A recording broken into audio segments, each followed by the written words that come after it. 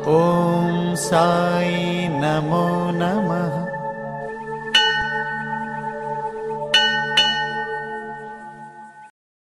சத்குருவாணி ஸ்ரீ ஷீரடி சாய்பாபாவின் அருள்வாக்கு மூலம் தெலுங்கு எழுதியவர் சிட்டா வெங்கடேஸ்வரடு சாயி தமிழ் மொழிபெயர்ப்பு இ ராஜசேகரன் வெளியிட்டோர் ஷீரடி சாய் சேரிட்டபிள் ட்ரஸ்ட் கரூர்.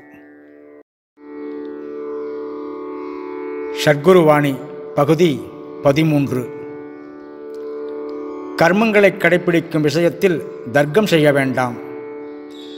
ஜீவர்களுக்கு நன்மையுண்டாக்கவே கர்மங்கள் நிர்ணயிக்கப்பட்டுள்ளன.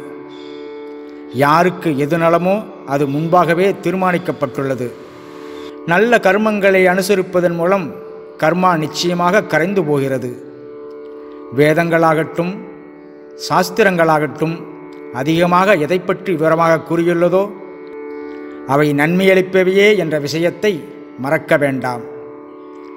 அப்படிப்பட்ட கர்மங்களை அனுசரிப்பதில் வெளிமுகமாக நீ கர்த்தா கர்மா கிரியா போன்றே தென்பட்டாலும் அந்த திரிகணங்கள் நானே என்ற விஷயத்தை மறக்காதே. கர்த்தா போக்தா ஷம்ஹர்த்தா என்ற மூன்று காரியங்களும் நானாகவே இருந்தேன் என்ற விஷயம் உன் மனதில் இருக்கும்போது பலனுக்காக சகஜமாகவே நீ ஆசைப்பட மாட்டாய்.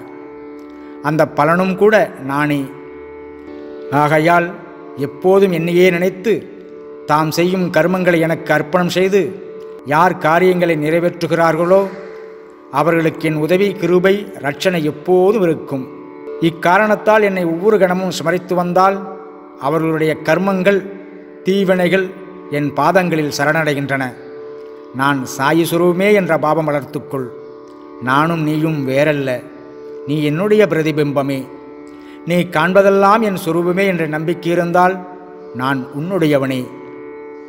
என் வார்த்தைகளின் மீது நம்பிக்கை வை.